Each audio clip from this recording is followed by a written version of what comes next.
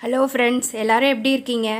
இன்றைக்கி நம்ம எங்கள் ஊர் ஸ்பெஷல் சேனலில் பார்க்க போகிறது கத்திரிக்காய் கத்திரிக்காய் சுட்டு எப்படி வந்து குழம்பு வைக்கிறது அப்படிங்கிறத பற்றி பார்க்க போகிறோம் அதுக்கு தேவையான பொருட்கள் மூணு பெரிய பெரிய கத்திரிக்காய் எடுத்து வச்சாச்சு. கருவேப்பிலை சின்ன வெங்காயம் ஒரு பத்து பதினஞ்சு அது மாதிரி எடுத்து உளிச்சு வச்சுருக்கேன். இப்போ கத்திரிக்காவை வந்து நல்லா அலசிட்டு கத்திரிக்காவை சுற்றியும் எண்ணெய் தடவிட்டு அதை வந்து தீயில் வச்சு சுட்டு எடுத்துக்கணும். அப்படியே அடுப்பில் வந்து ஸ்டவ்வில் மேலே வச்சு சு சுற்றிக்கிட்டே வந்தீங்கன்னா ரொட்டேட் பண்ணிக்கிட்டே வரணும். ஒவ்வொரு பக்கமும் வெந்துக்கிட்டே வரும். அதே மாதிரி நல்லா ரொட்டேட் பண்ணிக்கிட்டே வந்தீங்கன்னா கத்திரிக்காய் நல்லா வெந்துடும் தோலெல்லாம் நல்லா பிளாக் கலரில் ஆகிற வரலும் வேகணும்.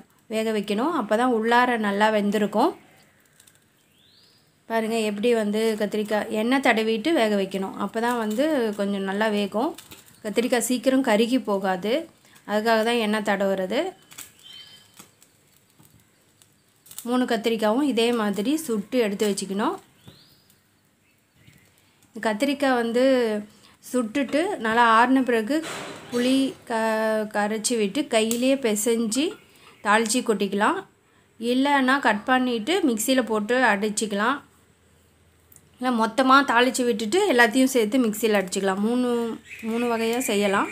இன்றைக்கி நான் ஒரு மாதிரி செய்ய போகிறேன் எப்படின்னு பாருங்கள் இன்னும் சூப்பர் டேஸ்ட்டாக இருக்கும் கத்திரிக்காய் இது இப்படி செஞ்சால்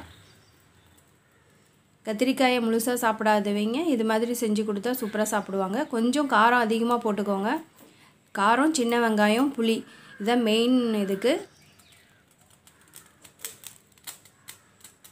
மூணு கத்திரிக்காயும் ரெடி ஆகிக்கிட்டு இருக்குது இது மாதிரி பாருங்கள் நல்லா வந்து சுட்டுக்கணும்.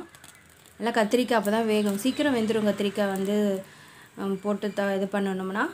அதனால் நல்லா ரொட்டேட் பண்ணி பண்ணி வச்சுக்கோங்க.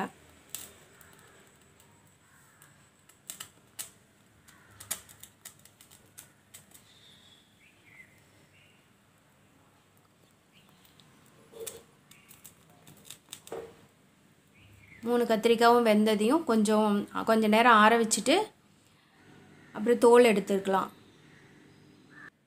கருப்பு கலரில் இருக்கிற தோல் எல்லாத்தையும் எடுத்துடலாம். ஆறட்டும் அதுங்குள்ள தாளிச்சிக்கலாம். தோல் எடுத்தாச்சு அப்புறம் தாளிச்சிக்கலாம். கடையில் எண்ணெய் விட்டு தாளிச்சிக்கலாம்.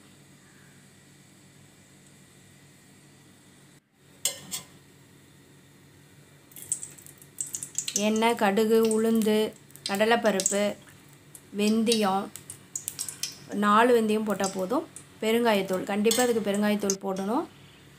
இதெல்லாம் போட்டு தாளிச்சிக்கலாம்.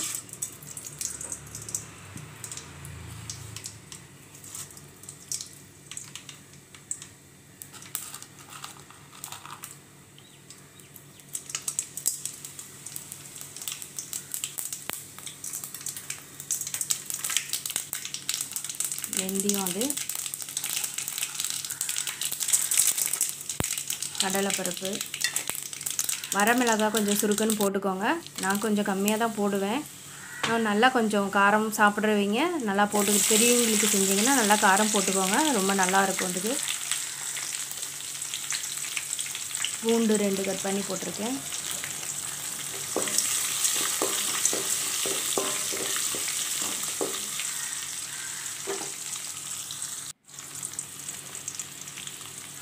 கருவேப்பிலை கருவேப்பிலை வரணும் வந்து வெங்காயம் போட்டு வதக்கிக்கலாம்.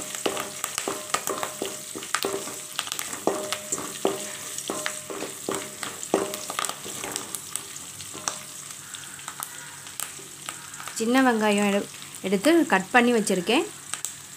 ரொம்ப சின்னதாக இருந்தால் அப்படியே முழுசாக போடுங்க. கொஞ்சம் பெருசு பெருசாக இருந்துச்சுன்னா நல்லா கட் பண்ணி வச்சுக்கோங்க.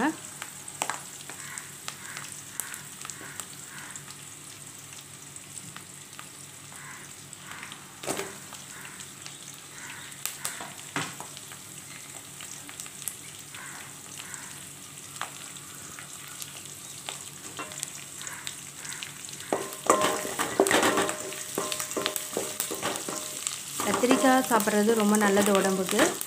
ஒரு சில பேர் கத்திரிக்காய் சாப்பிட மாட்டாங்க. இது மாதிரி பண்ணி கொடுத்துட்டு அது கத்திரிக்காய்னே தெரியாது. நல்லாயிருக்கும் டேஸ்ட்டாக இருக்கும்.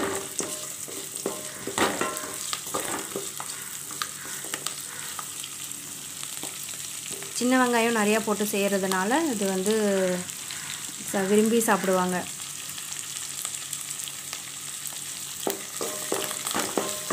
வெங்காயம் நல்லா வதங்கின உடனே ஓரளவுக்கு மீடியமாக வதங்கின உடனே கத்திரிக்காய் நல்லா கட் பண்ணி வச்சுட்டு கட் பண்ண கத்திரிக்காயை ஜஸ்ட்டு ஒரு மிக்சியில் போட்டு ஒரு அடி அடித்து போட்டுக்கலாம். இல்லைன்னா அதே மாதிரி அப்படியேவும் போட்டுட்டு அப்புறம் லாஸ்ட்டாக வந்து மிக்சியில் அடிச்சுக்கலாம். நான் இப்போ வந்து கட் பண்ணி அப்படியே போட்டுட்டு புளி தண்ணி ஊற்றுறேன்